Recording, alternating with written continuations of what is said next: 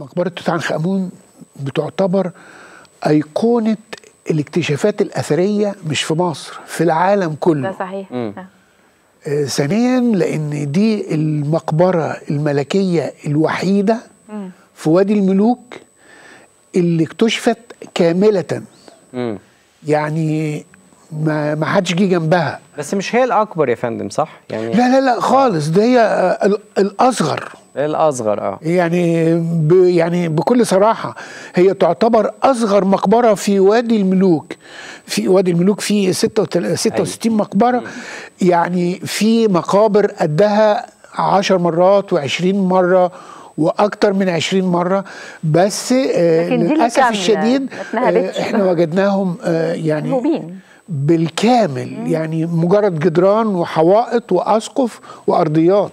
فاضيين آه طبعا الحوائط والجدران عليها الكتابات والرسوم إنما المحتويات منهوبة بالكامل. هل بصراحة القناع الفريد من نوعه بتاع توت عنخ آمون اللي العالم كله يعرفه إن اللي الأطفال بيعرفوه حتى في ال- في العالم نعم. هو ده المميز الأكتر لهذا الاكتشاف؟ يعني هو ده اللي بروز الاكتشاف؟ لا حقيقة مش بس القناع هو كل محتويات المقبرة.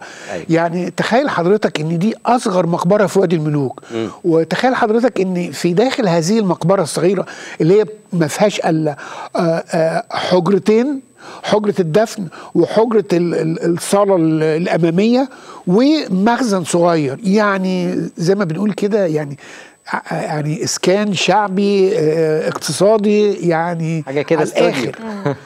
بمقابل بقى مقابر زي رمسيس الثاني رمسيس. تحتمس الثالث مقابر يعني بتمشي فيها مسافات طويلة. فدي أصغر مقبرة فيها كل الحاجات دي المقبرة آه، عثرنا داخلها على آه، 5398 فتخيل هذه المقبرة الصغيرة جدا وجد فيها هذا الكم الكبير من الآثار المصرية القديمة.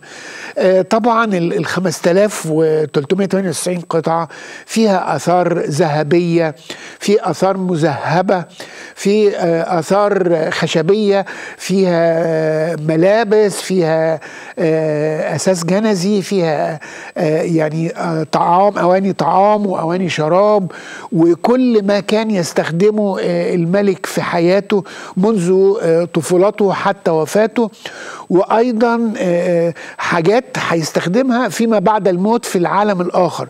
فكل الحاجات دي آه، خلت هذا الاكتشاف هو أهم الاكتشافات الأثرية في مصر وفي العالم كله منذ اكتشافها عام 1922 في 4 نوفمبر.